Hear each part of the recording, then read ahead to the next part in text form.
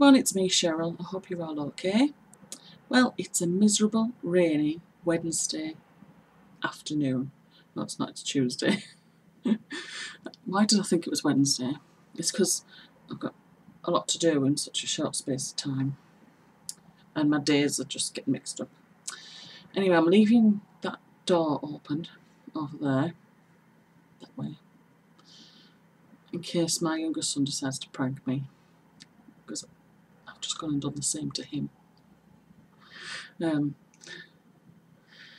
I tried with this, but um, he spotted me, so I took it downstairs and it was still recording, and I put it on the kitchen counter, and um, I was planning on doing another one in another way, and I can't remember how it was. Oh, I was waiting for him to come down and go into the room, and. Uh, he kept coming to the top of the stairs. You've been creeping up the stairs. I went, I haven't. And I promise you I haven't because it's all there. Being recorded. But I didn't tell him that first. Anyway, I did actually prank him and it was on my phone, so whether he'll let me show you it, I don't know. Anyway. So, good news, I have finished something. And it's the Lion Brand Shawlette. What was it called? South Bay Shawlette. I kept getting it mixed up last time. So here it is. All done, it's all in all its glory. And it's beautiful. I did add two extra rows before I did the trim. Um, and there's a little wave to the trim, I think. So we can focus in on one little bit there. Can you see a little wave to it? Yeah.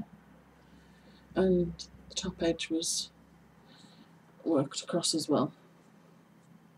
So I need to photograph it as well as wash it, um, but I will photograph it on Top Heavy. But I finished this, uh, was it yesterday? No, it wasn't yesterday. I did make a note of when I finished it, but I just need to take photos. And I started on a, a, little quick project which is proving more challenging than I um, first thought it would be. And it's called the Crochet Garcia which apparently it's a crocheted version of Cherry Garcia which is a knitted a cowl, a cable cowl. And this is the crochet one. And it's a free pattern on Ravelry. Um, and I've never done cable crochets before. And I have to say it's rock hard. Um, I found cable knitting is much easier. This is what I've got so far.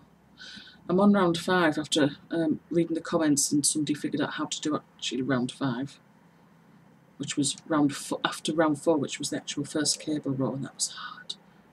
It was all right when you had to cross it over in front, but when you had to cross it over behind, that was the worst. I ended up using stitch markers. And well, this is it so far. And I'll tell you what I'm not liking about it It might look alright where it is, but um, where am I? Let's just find one, anyone will do. There, it's like when I try to, I don't know if you should snug up the stitches, whether that'll make it pucker, or whether you have to just work in a more relaxed fashion, but I'm finding that even when I'm trying to snug up the stitches, you get a long loop like that. It's um, not very good. It's, it, it feels too long and gappy between the actual cables. So I'm seeing gaps there. And I'm not liking that bit. And I don't know if it's just me if I should be pulling it tighter or if I should just be relaxing with it. Um, another shawl I want to try and I really believe I can do it. I have no idea what it's called um, it's not a shawl actually. It's like a shoulder shoulder like a cape um, I saw it through Pinterest and when I clicked on the link it took me to a French blog. Um, but the pattern itself I think it was scanned and uploaded. It's a Japanese pattern and it's a chart and there's some Japanese and I have actually zoomed in as far as I could on the computer and counted the stitches around the neck. Um, there's 60 sorry 76 in total but three of those are the turning chain I really believe I can do that. And I did have a little practice on some just ordinary yarn, it looks alright. Um, I only did a few stitches and I've gone up a couple of rows, so it looks absolutely gorgeous. You can see the picture there of what it's supposed to be. Um, I, the thing is, I don't know what size hook. So I tried four ply yarn, three millimeter hook. It's well, it's a bit tight on me, but my neck might be fatter than other people's. But you know, rather too loose than too tight. I think you don't want to be like, do you? Um, so I tried a three and a half millimeter hook with a four, four ply yarn, four ply like baby, um, and that was just snug. So maybe it'd be four millimeter or even a DK.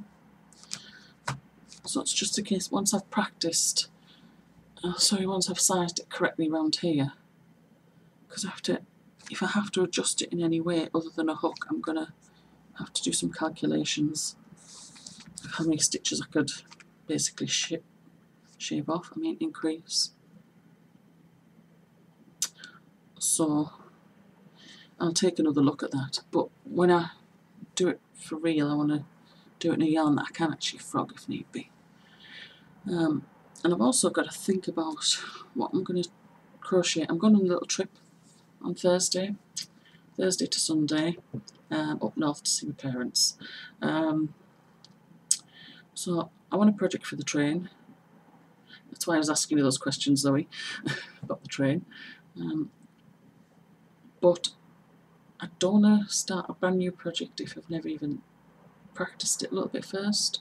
And I don't want to do it in froggable non-froggable yarns so I want to do I suppose I'm going to do a familiar pattern and then at least it's not too bad then I don't have to worry about going wrong or anything so anyway that's what I'm thinking of I think I'll do one of two things either another road trip scarf but in a slightly different yarn which I have intended for it anyway. Uh, or what's it called? I've done it I've done it recently, it was orange, but I increased it too much, so I ran out of yarn to actually decrease all the way. Um, might try that in the green, but do fewer increases, maybe about two rows, and then that should be it. Should be okay, I think. But yeah, I could do that because I'm familiar with it now. I'll think about it. Um, I've got the audio an audiobook sorted for the journey after having finished the one at library. That one, that one from the library, one I've just listened to, it's called Night Waking. And I forgot who wrote it. But it was like, at first I was thinking, this is weird. And I think it's because the, the lady narrated it, she was speaking in a very wistful voice and I couldn't get a grip of her voice, if you know what I mean. But um, I would just run through it and it ended up being an okay story, except just ended rather abruptly. I thought, is that it? I thought it's going to be a little bit more than that. Yeah, I could have done with it listening to a bit more in the end. Um, so anyway, I've got an audiobooks two really sorted for my journey. Not that I'll be able to listen to two in that time. Before I go, I don't think I'll do this on the train, but I'll plod on with this and see how we go. It's not a very long project, but it might turn out okay, it might look okay in the end, I just don't know what it's like now. Okay, I will wrap this up now. Uh, have a good week, everyone, and a good weekend, and maybe I will see you next week. Take care. Bye bye.